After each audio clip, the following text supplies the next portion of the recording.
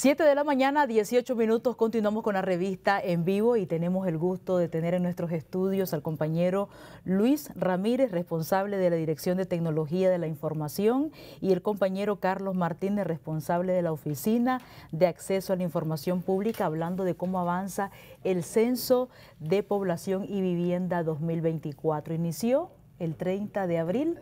¿Cómo avanzamos? Muy buenos días. Buenos días, este, gracias por invitarnos nuevamente a este prestigioso canal y buenos días a todos los televidentes.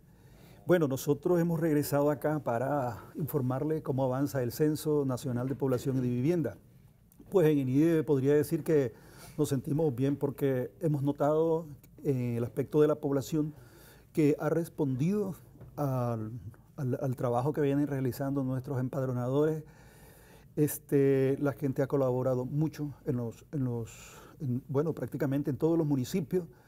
Hay algunos pues que se ponen, eh, eh, nos hemos encontrado algunas ciertas dificultades en cuanto al abordaje de la información. Sin embargo, eh, al regresar nuevamente, pues ya han entregado la información que se les ha solicitado. Sí. Y desde, ese, desde esa perspectiva, pues creo, nos, creo que el INIDE ha avanzado bien, los empadronadores han avanzado bien en su trabajo y creo que nos sentimos muy contentos con, el trabajo que han venido realizando eh, nuestros empadronadores. Luis. Sí, buenos días, gracias. Eh, el censo avanza, avanza y podría decir en éxito, en éxito porque avanza a paso firme. Eh, todos los días recepcionamos la información de, todo, de, de, todo el proceso, las indagaciones que estamos haciendo en el territorio.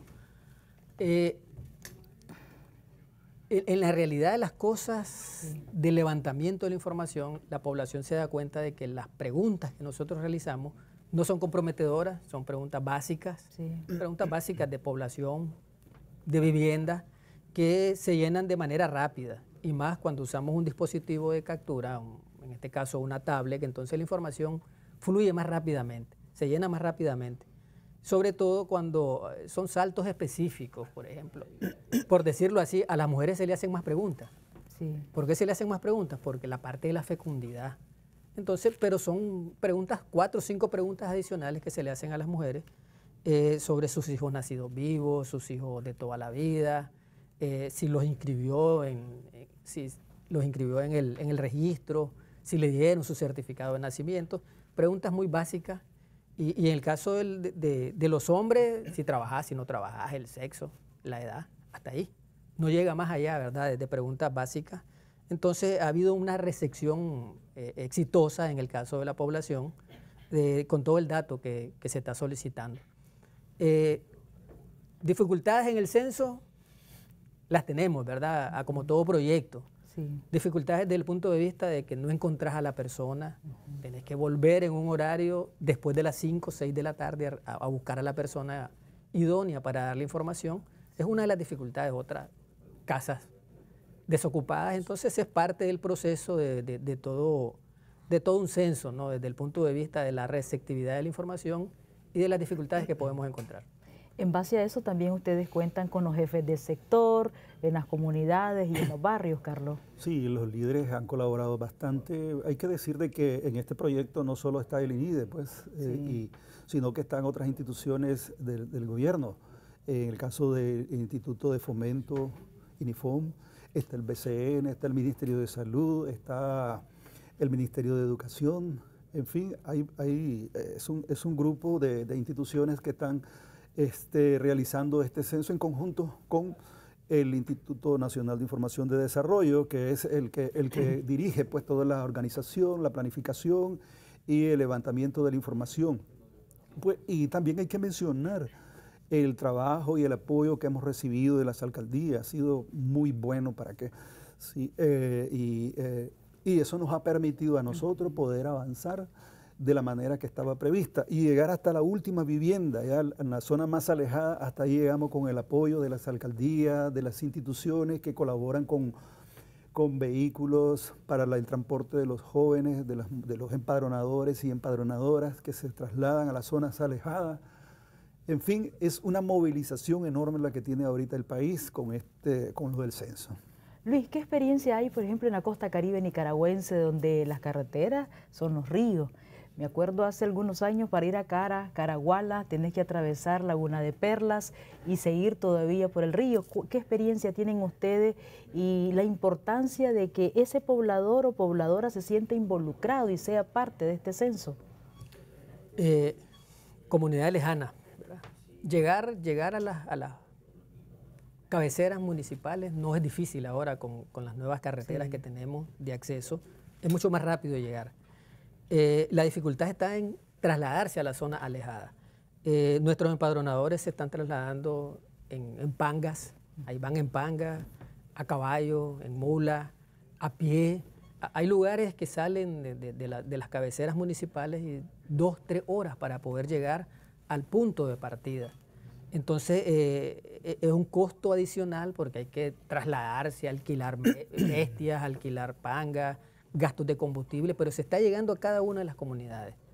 Y el instrumento que nosotros estamos utilizando, la tablet, ayuda a ubicar al empadronador, porque con, su tablet él se ubica en el GPS, si aquí estoy, por aquí voy, ya, no andas esos grandes mapas, ¿verdad? Tratando de ubicarte en el terreno. Y a como toda la población ahora, mira, aquí te mando mi ubicación, aquí te mando mi, mi posición, entonces e, esa es una ventaja que tenemos, el poder localizar cada una de esa, de esa información. Eh, se ubican de alguna manera con la cartografía. La, cartografía es un instrumento que nosotros levantamos en 2017 y tratamos de ubicar todas esas viviendas y edificaciones a lo largo de todo el país y ellos más o menos tienen una guía de dónde hay una vivienda, dónde hay un poblador, dónde hay una edificación y vamos a verificar y levantar la información. Este censo tiene que ver con población y vivienda. Hablaba un poco Luis sobre el aspecto de población, si están inscritos, cuántos niños, niñas tuvieron. En el caso de la vivienda, ¿qué elementos son básicos en este censo?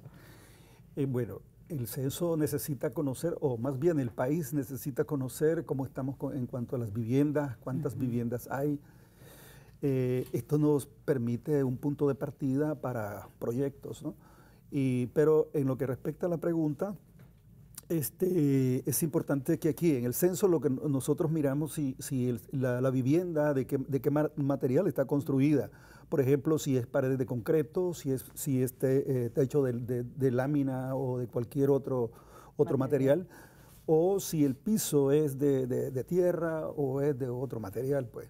Y así sucesivamente, lo que permite pues, dar una radiografía una vez que ya nosotros procesemos la información de saber cómo estamos en cuanto a las viviendas, no solo en, población, cuántos niños y cuántas niñas, dónde está la, mayor concentración de la población, sino que también en cuanto a las viviendas, cuáles son nuestras necesidades en cuanto a la vivienda.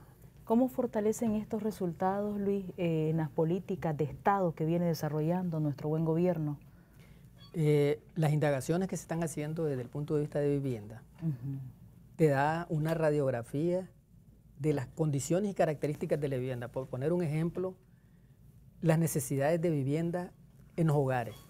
En un hogar encontrás, eh, en una familia encontrás tres, cuatro hogares, o sea, personas que, ya una familia constituida tiene sus hijos tiene, y están en un cuartito. Entonces hay un indicador básico que vos definís las necesidades de vivienda. La cantidad de hogares por vivienda, eso te está diciendo si es 2.0, si es 1.5 entonces, eh, poder determinar cuántas viviendas necesita el país para esos nuevos hogares y poder incrementar los proyectos de Bismarck Martínez, los proyectos de desarrollo a nivel de gobierno y las mismas empresas privadas, las constructoras, las que te dan servicio de vivienda, también focalizar dónde hay más población para ellos poder determinar las mayores necesidades de vivienda. Desde el punto de vista de la infraestructura de la vivienda, eh, los proyectos de apoyo, ¿no? de mejoras a, eh, las casas dignas que se necesitan, si identificas muchas casas dignas, entonces eh, muchas necesidades para poder tener casas dignas, entonces el proyecto de gobierno lo puede focalizar más fácilmente. Hay, hay características de las necesidades de energía, de las necesidades de agua potable, porque se pregunta si tenés agua si, si el agua que tomás eh, la retirás de un pozo, vas al río o tenés a través de, tuberías. Entonces, e, esos indicadores te ayudan a fortalecer el Plan Nacional de Desarrollo Humano y focalizar los programas y proyectos a nivel de gobierno. Porque no solo es población, la población te indica cuántos somos, Y el cuánto somos es suficiente para que todos los programas de gobierno, el Ministerio de Salud, si, si la cantidad de niños que hay en esa zona cubre la cantidad de escuelas que tiene, los jóvenes, todos los jóvenes, ¿cuántos jóvenes tenemos? Si las universidades públicas y privadas cubren toda esa población de jóvenes que tenemos en, en las infraestructuras de las universidades. Entonces, solo ese dato de población, cada una de, la, de las instituciones de gobierno toman sus parámetros para poder definirlo, ¿verdad? Y las alcaldías es importante para poder desarrollar, desarrollar sus programas y proyectos a nivel local. Este tipo de consulta o de censo, este, Carlos, ¿cada cuánto se hace? Bueno, eh, eh, se debe hacer cada 10 años, pero son proyectos muy costosos. Y en ese sentido, Nicaragua tenía cierta dificultad en reunir todo el dinero que se necesitaba para poder realizar los censos. Entonces, por eso es que se vino retrasando y, además de otras circunstancias que se vinieron dando en el país, no se pudo desarrollar en el tiempo que estaba previsto. Nosotros teníamos el, eh, eh, proyectado de realizar el censo en el 2018. Mm. El censo nacional, el censo nacional de población y de vivienda y el Senagro, el censo agropecuario. Sin embargo, por las circunstancias que ya conocemos, pues no se pudo realizar. Pero ya estamos Ahora sí estamos ya nuevamente ahí, como dicen en este proyecto, insistiendo pues para, para mejorar la información, para actualizar, porque ya la información que, tenía, que tenemos eh, data de, a ver, de 2005, ya es una, una, información un poquito ya antigua. Por tanto, eh, muy importante. Es importante, sí, porque siempre la información estadística es importante, aunque se hayan pasado los años ya sea como referencia o como cualquier otro. Pero es importante también actualizarla cada determinado periodo. Perfecto. ¿Cómo andan identificados los encuestadores y su invitación para que las familias los reciban? Andan un chaleco, como este.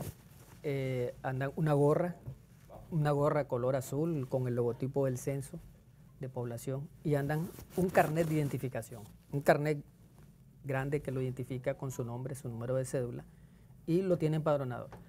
Algo importante es que el empadronador anda esta vestimenta, pero también tenemos encuestadores de las encuestas especializadas, las encuestas continuas de hogares, que en algún momento van a coincidir. Y, ese, eh, yo quería hacer el llamado a la población de que si llega un encuestador lo atendamos porque es una encuesta especializada del INIDE. Y si llega el censista, o el empadronador que también lo atiendan. Son preguntas diferentes. Sí. Son preguntas Ahí están los distintivos. Ese es el distintivo, la identificación que anda nuestro empadronador, ¿verdad? Nuestro censista. Eh,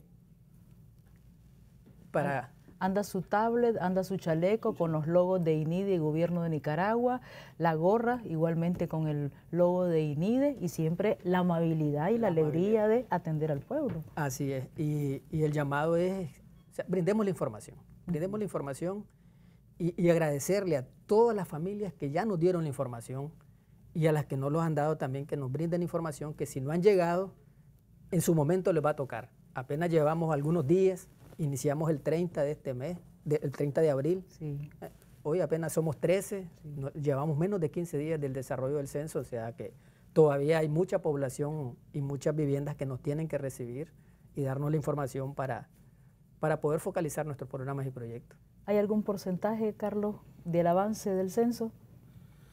Pues eh, yo soy del criterio que no, no, se puede, ¿verdad? Por razones de que eh, podemos caer en alguna imprecisión. Correcto. entonces, por eso es mejor. Eh, yo sé que muchas personas, muchos nicaragüenses estamos pendientes del censo y queremos ya ver cómo, cómo avanza, cuántos somos, cuánto esto, cuánto aquello pero las estadísticas son muy cuidadosas en ese sentido y quizás haya, pues, pero yo no me atrevería porque puedo caer en una imprecisión. ¿Cuándo concluye? Esto concluye el 29 de este mes. 29, de, mayo. Perfecto. Prácticamente un mes, Luis. Insisto, Ajá. la planificación es un mes. Ajá. Un mes con todo el, proceso de levantamiento. E, en este mes andan eh, la estructura que nosotros tenemos, el empadronador, que es el que llega a tu vivienda. El actor principal, el informante, la población. Eh, andan supervisores que andan dándole el seguimiento al empadronador. Están auxiliares técnicos en cada una de las oficinas, que es el representante de INIDE desde el punto de vista técnico. Hay eh, los informáticos y los soportes técnicos que están dando toda la atención al, personal. Eh, están delegados municipales, que es la parte administrativa financiera, el personal técnico del INIDE, tenemos regado personal técnico del INIDE en cada uno de los departamentos del país, también dando asistencia técnica, y sobre todo el personal de tecnología del INIDE. Tal vez porque soy de tecnología, quiero hacer énfasis en esto, somos los que llevamos eh, la voz cantante en el proceso de, poder llevar eh, el instrumento de captura, ¿verdad? Y toda la validación.